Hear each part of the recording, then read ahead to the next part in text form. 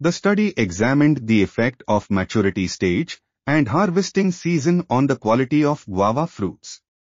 It was found that the antioxidant capacity, total phenols, total flavonoids, H2O2 scavenging activity and ascorbic acid content differed between maturity stages and harvesting seasons.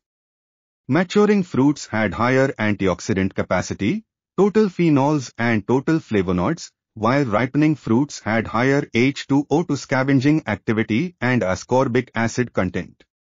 Additionally, the ripening process resulted in a decrease in antioxidant capacity and total phenols, but an increase in H2O2 scavenging activity and ascorbic acid content.